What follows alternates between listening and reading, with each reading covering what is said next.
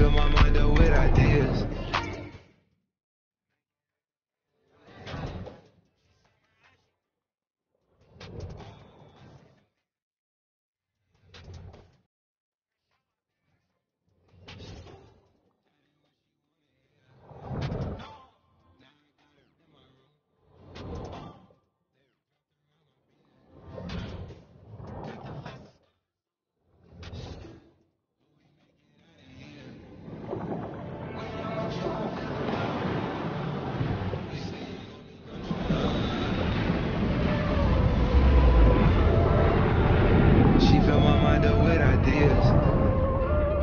gon' make it out of here.